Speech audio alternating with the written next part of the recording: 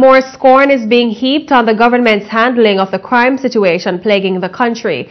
The parliamentary opposition is accusing the Portia Simpson Miller administration of turning a blind eye to the high incidence of crime and violence that continues to grip sections of the country.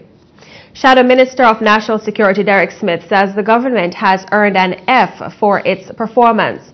According to Mr. Smith, Jamaicans are cowering in fear. He notes that based on current statistics, approximately 865 Jamaicans have been killed since the start of 2015.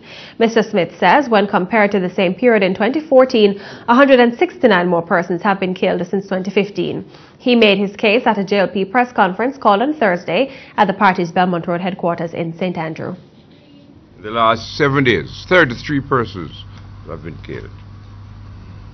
This month so far, 63 persons have been killed. And that is running 50% ahead of early September last year. Ladies and gentlemen, there's no sign of abatement. In fact, the opposite is happening. The situation is accelerating. Mr. Smith argues that 12 out of the 19 police divisions have seen an increase in violence. He says crime has even filtered into the usually quiet rural areas including Portland, Hanover and Westmoreland. There's also a reported increase in motor vehicle theft, however fatal shootings have declined. The good news, fatal shootings are down. The security forces seem to have reason not to be shooting as many persons as they did last year and the previous years. Obviously, I attribute this to a great extent to INDECOM. I also attribute this to the to a more professional approach by the members of our security forces. When we look at the murders and we try to assess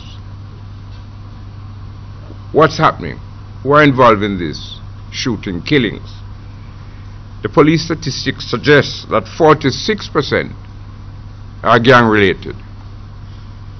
And they say 42% are just criminal activity, non gang. A very sorrow situation that we are in at this time.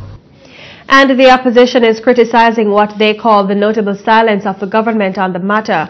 Mr. Smith says the country's National Security Minister Peter Bunting and Prime Minister Portia Simpson Miller have been mum while crime continues to climb to crisis levels. Unfortunately, we have not been hearing from the Minister of National Security.